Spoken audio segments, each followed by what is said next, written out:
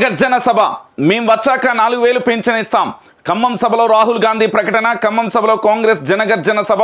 హాజరైన రాహుల్ గాంధీ తెలంగాణ స్వప్నాన్ని బీఆర్ఎస్ ధ్వంసం చేసిందని విమర్శలు బీజేపీకి బీ టీం బీఆర్ఎస్ అని వ్యాఖ్య. కర్ణాటకలో బీజేపీని ఓడించినట్లు తెలంగాణలో బీఆర్ఎస్ను ఓడిస్తామని ధీమా తెలంగాణలో బీజేపీ చతికిల పడిందని వెల్లడి అంటూ కూడా ప్రధాన అంశానికి సంబంధించి కూడా హైలైట్ చేసింది.